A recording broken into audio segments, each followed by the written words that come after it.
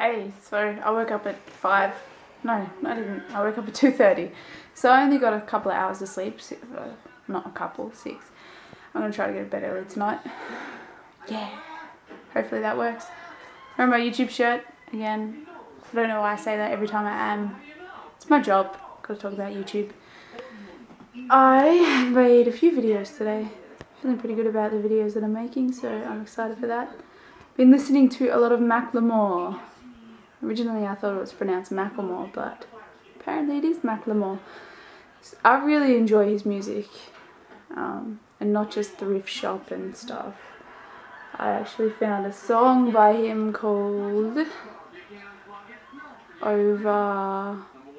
Oh no, what's it called? I can't remember. What's the song called? What's it called? Oh, what was it called? I can't remember. Fuck, how can I not remember? That's ridiculous of me. me to look it up? No, um...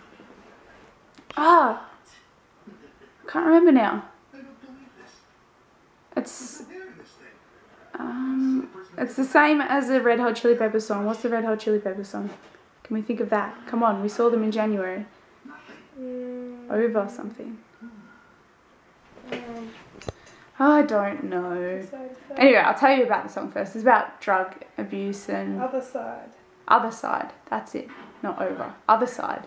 Obviously, Red Hot Chili Peppers also have an awesome song called Other Side. But yeah, he brought this out long before the, the Heist with Ryan Lewis was released.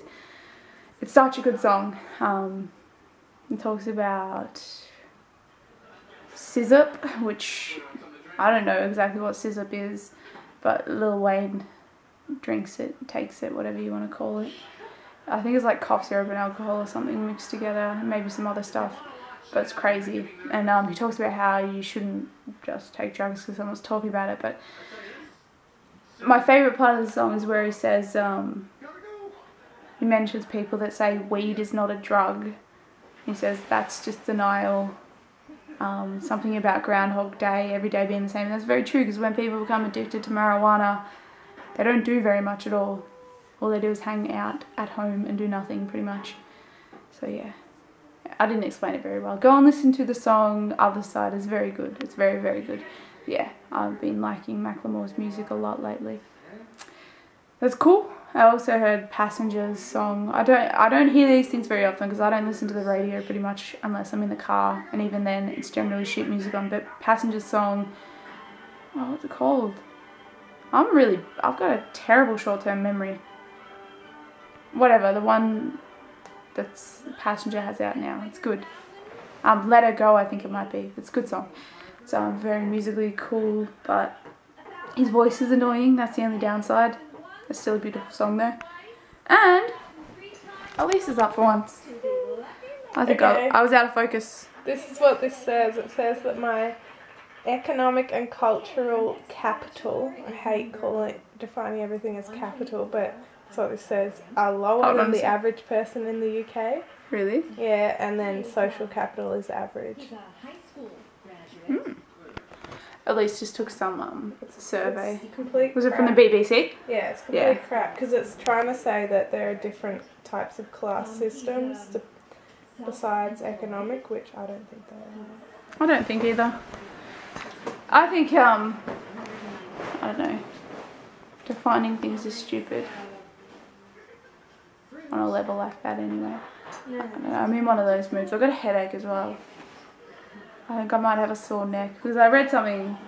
Obviously, you should know this, and if you don't, I don't know why you don't know it, but your brain cannot feel pain. Your brain doesn't have nerve receptors. So, pretty much, if your head gets opened up, obviously that's going to hurt. But if your head somehow had a hole in it and you could touch your brain, it would not hurt. You could stick something into it and it wouldn't hurt.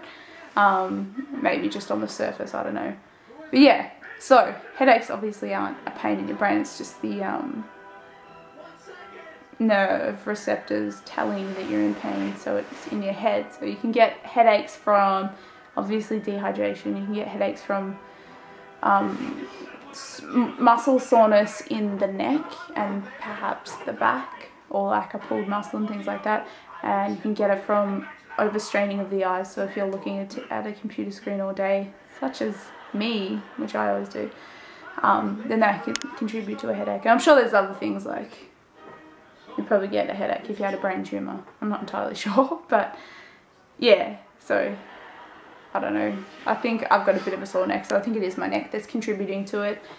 But I'm feeling pretty good today regardless of that. Um, it's Wednesday and on Friday night, Rhiannon and the family's coming down like I said yesterday. So I'm, I'm just excited for that. I'm just passing the time until then. I'm going to try and get a whole bunch of videos done because I know from Friday night until maybe Monday when they leave, I won't get anything done.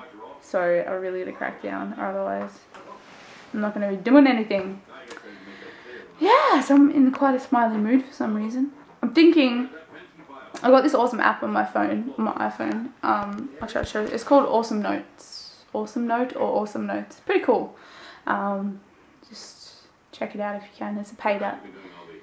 And I'm thinking about trying to learn another language. Um, initially I'm going to do it through apps and things like that, but eventually I might take a class or something and then converse with people that speak the certain language that I decide to learn. I either want to learn Hindi or I want to learn Spanish, so I mean Spanish would be a more universal language to learn, but Hindi is used in a lot of parts of India, so I love India and I want to go there many times in my life. I don't know. I don't know what to do, but obviously in a place like India, there's all different dialects. There's Maharashtra, whatever it's called, um, Gujarati, and a lot more than that. I think some Indians also speak Urdu, which is Urdu, sorry, which is um, it's like Pakistani. I don't know. I don't know. So anyway, I've got to decide which one I want to learn, and I'm going to give myself like a, a kind of a time frame every day to at least do some learning exercises for say 15 minutes and see how I go um, after a couple of months. I'm looking forward to that. I'd love to be able to like converse in a little little bit of a way like by the time I go to India again. So looking forward to that. Yeah, um, talking a lot, aren't I? It's it's cold now, so I can wear tracksuit pants again, which is amazing. But I can also wear these awesome socks. They look dirty because I've been wearing them, but they've got love heart pads on the feet, and they're all fluffy. They're incredible. Um, they were two dollars at the two dollar store, and Elise and I got them like last last winter. So I like that it's getting cold again. It's pre it's pretty good. I'm enjoying it. But yeah. I don't know, I'm wearing my owl ring too. It originally was Elise's. It's one of those crappy ones that was cheap. So it leaves my finger green. This clip has gone for almost eight minutes. God damn it. Um, but I really like it. It's cool. So I'm going to end this clip now that I know it's been going for eight minutes. About that time for me to go to bed. Um, downloading some language programs. See how I go. I don't know. Uh, it's, only one o'clock, so I'm pretty happy with that. What else? I can't remember. I haven't uploaded yes yesterday's vlog, so I'm going to do it tomorrow. Hopefully early in the morning if I can muster that, if I can wake up that early. yeah, I hope you guys are doing well. Um, and I'll see you tomorrow.